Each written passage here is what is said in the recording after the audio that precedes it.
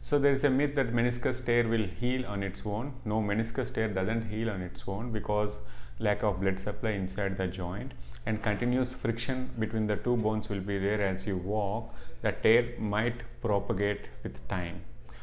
So whether it gives you trouble or not, occasionally it gives trouble. It's not the daily day-to-day life that will give the trouble. So it will it won't allow you to play sports and it won't allow you to climb up and down with extreme movements is required like hiking and these things. For routine life, generally it won't trouble, but it doesn't mean that you should neglect it. So meniscus tear once diagnosed, it depends what type of tear it is there, which part of is torn. It doesn't mean that MRI, we should treat the MRI, whether it is giving trouble to your movements or activities, then only it requires a treatment. Grade 3 and grade 4 tears will be there like a horizontal tear, bucket handle tear, where the tears cannot heal on itself, it requires immediate intervention. If you don't treat it, the tear will increase in size and it will go uh, it will go for no repair stage where we need to sacrifice remove that part of the meniscus that is not good for your knee.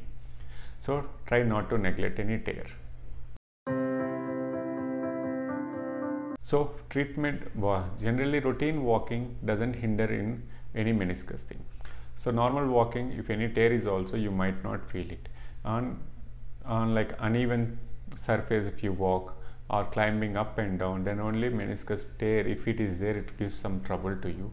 Or sometimes if you want to have a quick steps like a gif you are walking then it might give the presentation like locking symptom.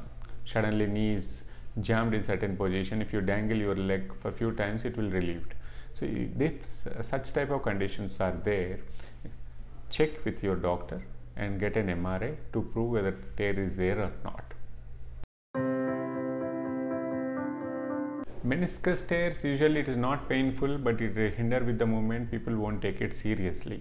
But if you are an active lifestyle, athletic ability is there, I want to do my all activities, the knee thing is not hindering me means you should not be neglected. So meniscus tear healing after surgery depends upon what type of tear it is, whether we repaired it or sacrificed it. If we repair it with this uh, suture anchors, it requires some rest because the we need to give some time for the healing of the meniscus that is actually 3 to 4 weeks. Gradual movement will be given and weight bearing means weight putting weight on that operated leg will be allowed after 4 weeks. Gradually you have to increase the weight then get back to the normal lifestyle with physiotherapy help.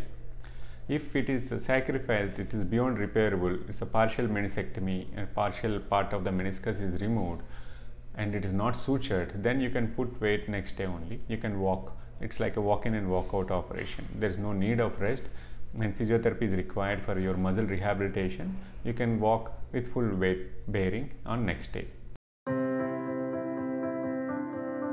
Artificial meniscus are not available since there is no synthetic right now but meniscus transplant eh, will be done in people who are high end of uh, sports activities.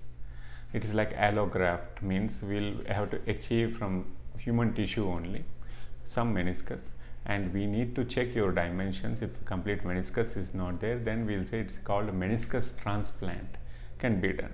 But it requires age is required activity depends upon the age of the patient activity of the patient and what is the future also we need to take care of for that meniscus transplant